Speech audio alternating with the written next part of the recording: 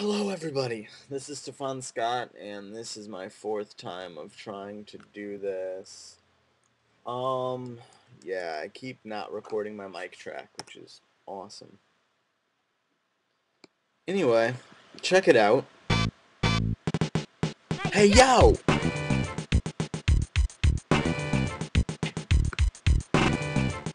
Hey yo! Babies, kids! Yeah, it's it's totally sweet. It's totally Bebe's kids. Um, okay. A couple things. We can play as LaShawn or Kyle. These names are probably the single best thing about the game. I'll play as LaShawn, because she's clearly hardcore. Um, I'm gonna do two things at once here.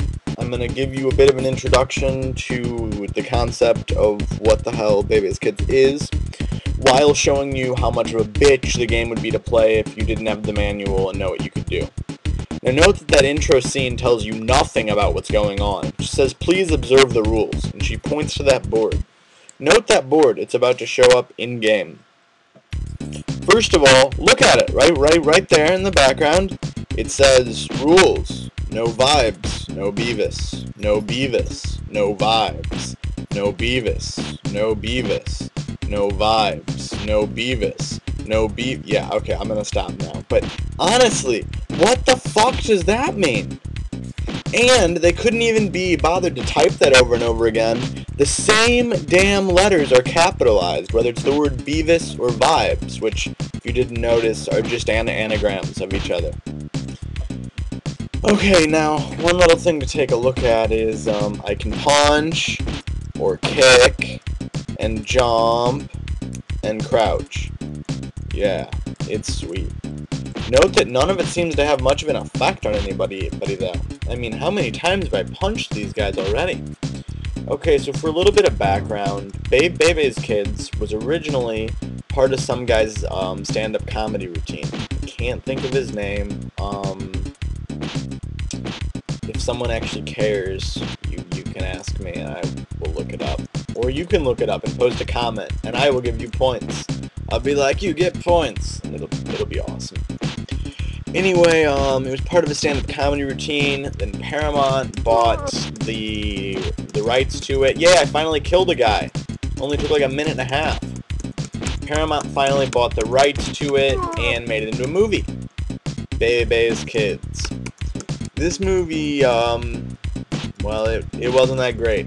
It was a lot better than this game, game though. Um, interesting note, it was like the first movie ever, or at least the first animated movie ever targeted specifically to an African American audience, which is cool. I'm not arguing that by any means. What I have an issue with is that no one at the studio really understood the movie or knew how the fuck to handle it.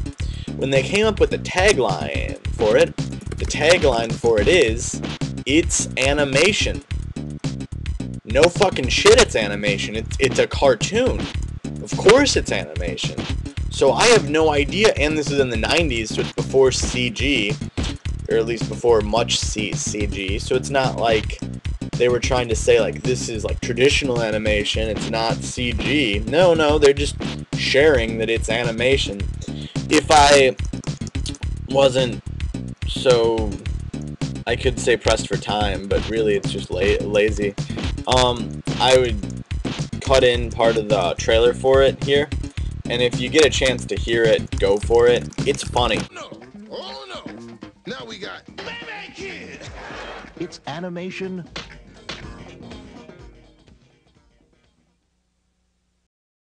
The guy speaking it um, doesn't seem to realize that its animation is the full tagline. So he's like, Bebe's kids, it's animation! And then like he pauses to say something else and, and there's nothing and the trailer just stops. It's funny. Anyway, as you can see, despite my beating the shit out of these guys as much as possible, I only have 30 seconds left. And I don't seem to be nearing the end of the level. And I've done all this shit. Um, let's even try the L and R buttons. Let's see, do they do anything else? No, they do shit. Let's try L plus jump. Not, not a whole lot. Oh, there we go. Let's try R plus jump. Oh, R plus jump doesn't do anything. Let's try just L plus jump. Oh no, no it doesn't do anything either. How about select? Nothing. How about start? Oh, it brings up a pause screen that says chillin'. Oh, that's that that's awesome. okay. So what else could it be? Oh, I'm out of time. Well, at least this screen's really cool. Ready? Ready? Oh, some guy's holding us. Unsupervised minors are prohibited from engaging in unauthorized leisure activities. Allow me to escort you to a more suitable attraction. Huh? What? What the hell does that mean? I wonder where he's going to uh, escort us to. Oh, it's beginning of the level, which is basically where we were. This does seem a lot more suitable. So thank you. Anyway, I've been holding out on you. I know it, how to actually play. So, um, let's do that. Hey, yo! Baby's kids! Okay, you hold L and R at the same time. Yeah, yeah. Hold L and R while pressing X or Y to upper to execute the uppercut, which does a lot of damage. Here's ice cream, which I can eat. Um, hold. No, I don't. I don't have to hold anything to do that. Okay, it's to use item.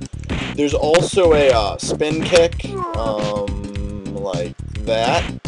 Yeah, it's a little. It's I think it's the same power or a little more powerful, but the uppercut has less steps, and I don't need the spin kick right now because everyone's at ground level. So I will be saving that for a rainy day.